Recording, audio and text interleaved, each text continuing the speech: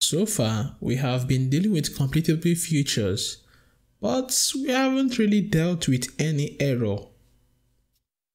So in this lesson, you're going to learn on how to deal with errors while constructing your pipeline for your completable future. So let's say we have a completable future, supply async, and uh, let's have a separate method. I'll call this method get value. So I want to supply a value of say get value, then accept the system the out print line can see a 5 why? Because get value was run in the background and accepted. In this current example if you notice there isn't any delay because we're just working on understanding exceptions for now. You know normally before i'll do thread.sleep for now i want to simulate a crash. So for this current situation get value returns 5 but let's create a different method new runtime exception. So i'll come to get value all right blow up. So what happens here is this get value is depending on another method, but we know that this method is going to blow up. That means it will not be able to return 5. That means when you run your program, you wouldn't get any output. It blew up and we couldn't see anything. If you actually want to see the error, I'll just simply say dot join. If I say dot join, we would be able to see the error on this our thread in our main thread. So if you see Java runtime exception, it blew up.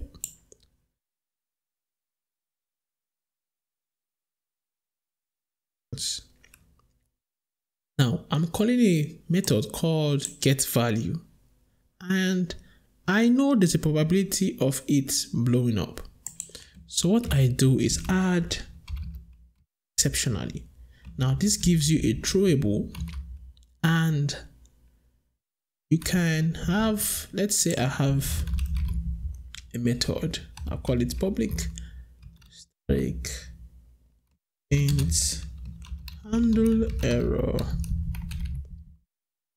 And it takes in a throwable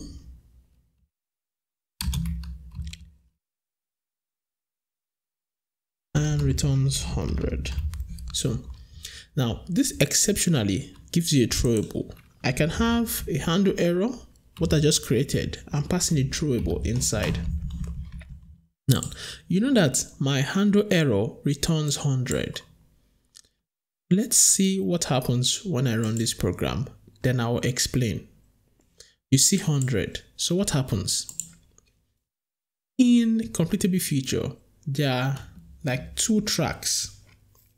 You have the stable normal track, which our supply async then apply runs. When the program doesn't have an error, there's a track for it. When you have an error, you have the exceptionally track. So once something here blows up, it changes the track to the exceptionally track. So it gives the error to the exceptionally and so you can handle the error and return a value to continue the operation. So that if after here we had then apply, let's say I have then apply and I want to collect an integer and multiply it by 200. Let's imagine that this get value did not have any error.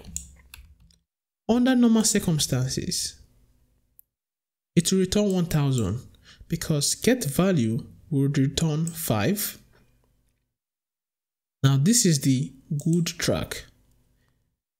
And then skip over exceptionally because that track is only enabled once there's an error. It goes to the then apply. The 5 that was returned from get value is multiplied by 200. That's why we have 1000. Then in the then accept. But the moment you come to get value and you blow up, huh? You want to blow up. This will have an error. Immediately go to the exceptionally track. Now, the exceptionally track is supposed to help the system recover. And how you make it recover is by returning 100. So it will return 100 and then return back to the stable path, which is in the then apply. So once it returns 100, we'll come here and have 100 times 200, then accept. What if we had another error in this then apply? So let's say we'll come here and we also want to get value. Now currently get value blows up or let's create another one. I'll say get another value. Can return 500, but we're going to blow up. So what happens when you run it? It actually blows up. So we can prove this if we have join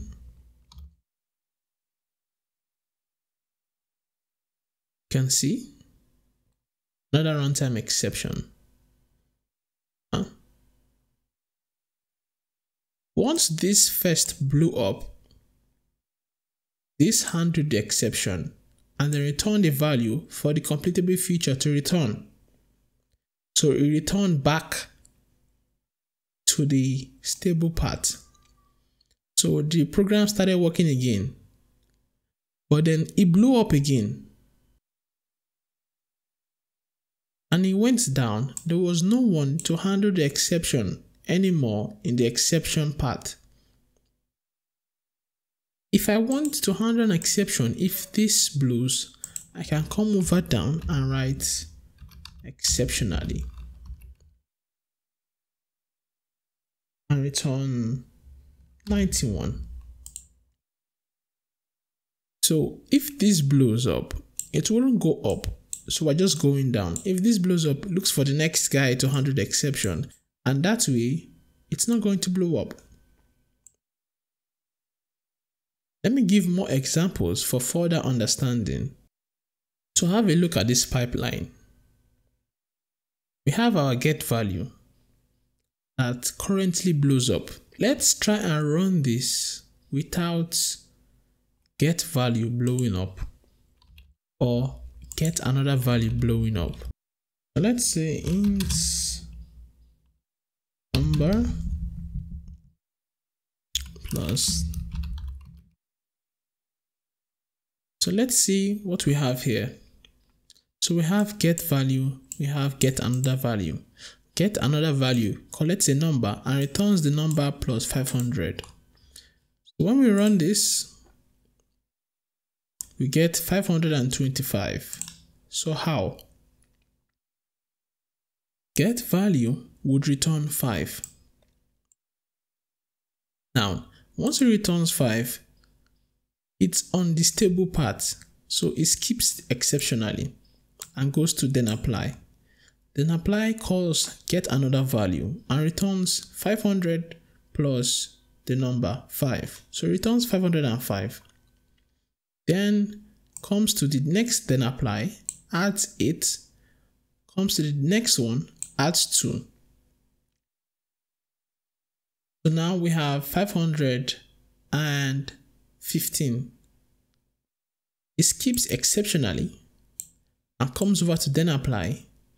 And then here we have 515 plus 10, which gives us 525. So what if yet another value blew up. Let's say get value worked fine, but in get another value, we blow it up. What's going to happen? We get 101. So what happened? Get value would return 5. Skips exceptionally because there's no error. Then apply and we have get another value, but this blows up. So it looks for the next part to handle this exception and it sees exceptionally. This exceptionally returns 91 and returns back to the stable part. And this collects an integer returned and adds 10 to it, which is 101, and then prints it out. So there you have it. So we have it moves from the stable part to the exception, exception to the stable, and it moves like that. If this was trying to handle an error and it blew up, it look for the next exceptionally to handle it. If not, everything blows up. So this is an overview of how to handle exceptions in completable futures. If you like this video, please consider giving it a thumbs up and consider subscribing. In the next lessons, we'll look at more in-depth and modern features of completable future. Hope to see you in the future.